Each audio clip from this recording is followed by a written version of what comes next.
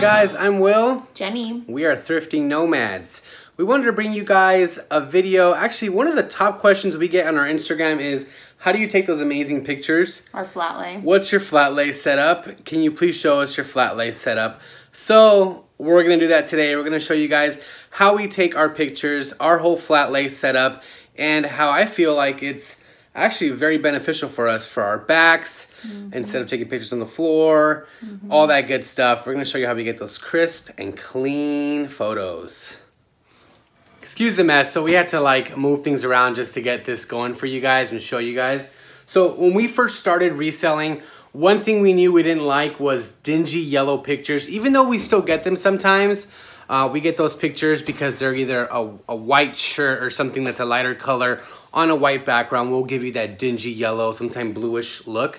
Um, that's one thing we didn't like. Flat lay kind of leaves your photos, um, well, leaves the, the actual clothing a little more crisp. Yes. No wrinkles or anything like that, which I felt like for us, if our photos showed everything, everything in between every little crinkle, then it would be less likely for returns. And we Yep. really don't get returns too, too often. I mean, there's always those dumb buyers, but Yeah, there's always buyers that don't read your description or see your pictures. We have uh, our pictures show our measurements, and our description will have the measurements written out. So um, our returns, I feel our returns are a lot less very low. um, on our clothing, which is one thing that people, especially women's clothing, that's the one thing that everyone gets returns on all the time. Mm-hmm. Our return is really low on women's clothing, which is really good. Another beautiful part about it too is our backs don't hurt because we're not taking the picture all the way down on the floor It's or we're not staying at up. an angle. Yeah.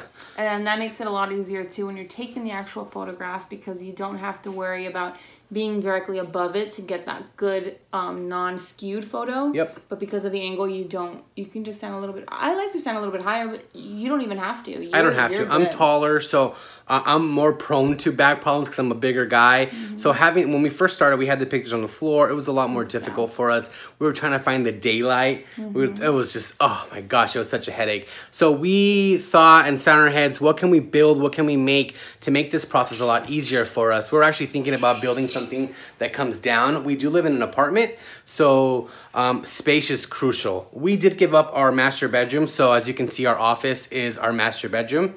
Uh, sorry again, excuse the mess. So we're trying to think of ways to um, utilize the space correctly, and we're trying to think of a drop down thing, which would be would be pretty cool.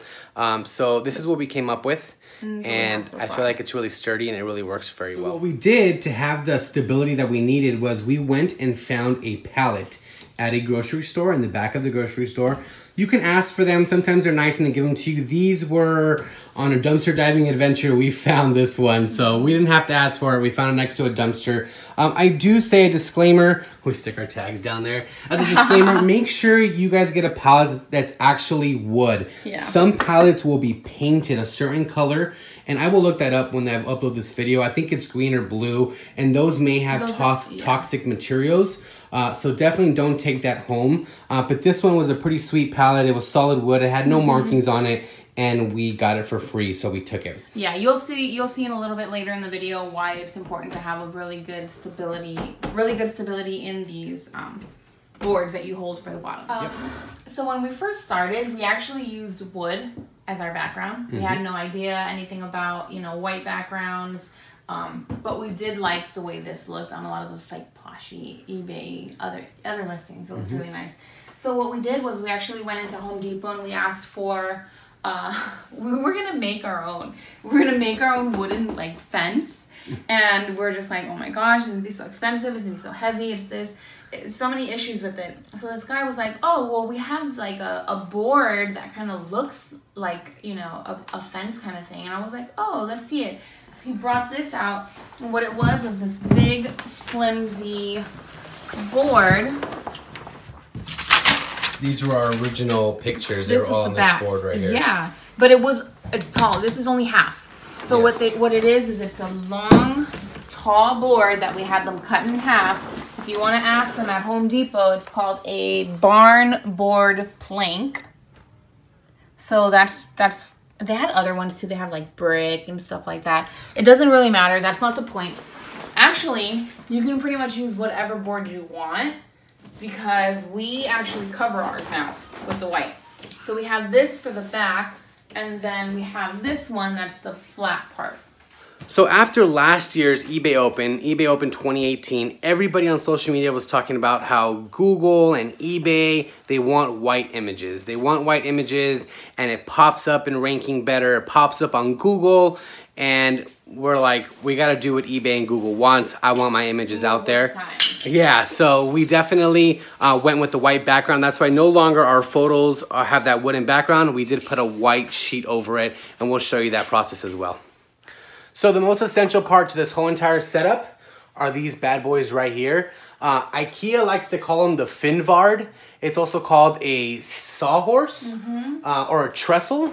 That's another name for them as well. Uh, we paid $20 for them uh, at the IKEA as is section. So uh, I don't know if you have an IKEA next to you, but it's a really a great place big to pick up furniture anything. store. Yeah. We, all of our whole computer desk system. Everything we get, we get from the as is section. You can actually, instead of going up the stairs and taking the whole shabam uh, through the whole store, you Find the literally checkout. You go in through the exit, go through the checkout. It's always towards the back of the store. It's called the as is section. It's pretty much stuff that was on their displays, right?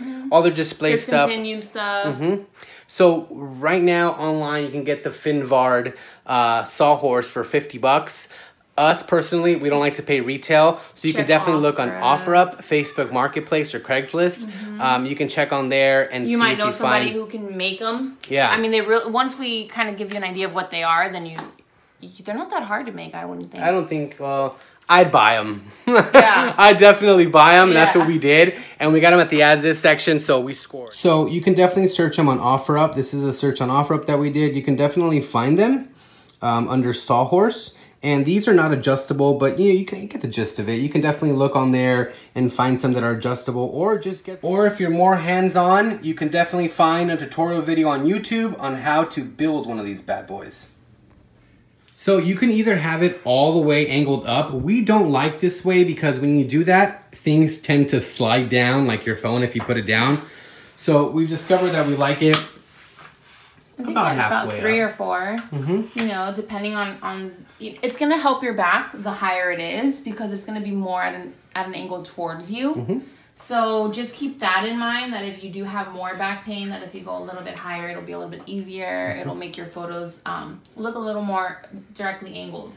The only issue This is a very important piece too. Make sure you don't lose these because once you lose those, yeah, you could put something else in there. But Yeah. Well, we tighten the front ones, and then we just worry about this, and we have the other two as a spare on the side in case they ever get lost, or if a four-year-old comes in here and decides that this is a little person that belongs to a city.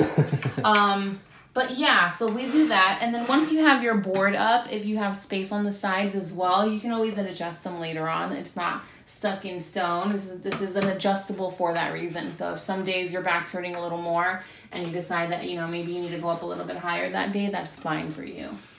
So here you can see us setting up. We just put the pallet directly onto the sawhorses, put our white sheet over it, adjust some lighting, and we are ready to take some pictures. Pretty simple. So this is what it looks like all set up. We have Jenny taking a picture. She's a little bit shorter than I am, so she does need some assistance getting up there. Uh, for me, it is right at my hip level. And just look how crisp and clean those pictures look. That looks really good, babe. Thank you. That looks awesome. So now we're actually going to show you how we take our photos. As you know, on Poshmark and on eBay, square mode just fits in perfectly. Uh, the cool thing about it is that the iPhones do come with square mode, so you just go ahead and hit that option. And then you can see Jenny's focusing in on the shirt, and then bringing up the brightness is really simple. You just tap up and swipe up, and then she snaps the picture. Very simple, clean picture. As you can see, that's how we take our photos for eBay and Poshmark. So this is a beautiful part about our setup is that it's completely adjustable. Um, at this height, you wouldn't need any kind of stepping stool. You could just have it completely slanted like that. And then we have Jenny over here taking a photo the same way she would if it was laying the Oh, other way. it has a little corner right there. Still looks really good. Still looks really good though. Nice and flush. Maybe adjust the lights a little. Mm-hmm. We're good to go. The light setup we have is the Neewer lights. They're called Neewer um, LED video light. These are pretty cool because you can adjust it and you can add more yellow to it. I don't know if you could see that in the video or you can make it crispy and white. We do have two of them. Uh, and we also have an affiliate link, which we'll link down below. And if you purchase the Neewer lights through our affiliate link, we do get a certain percentage of that. So you help, and that helps continuing these videos for you guys. Um, it's not very much, so we're not making millions off of it. But it is uh, like, what, 2% or something like that? Something. Something like that of the sale goes to us. I will link the link below for the Neewer lights. Link the link. Link the link below. and then what's cool about the IKEA um, Finnvard, whatever they're called, um, is that they have these little storage spots at the bottom. So sometimes we like to put stuff down there. And here's like a more in-depth of what the bottom looks like. Because it is on a pallet, um, it does grab on. It does grab on to this end of it. So it holds it from sliding down on you, which is pretty cool as well. And then I'm gonna show you one more hack. If you do use it elevated this way, your phone, where's your phone at, babe? I have it in my pocket. Your phone will slide down because gravity.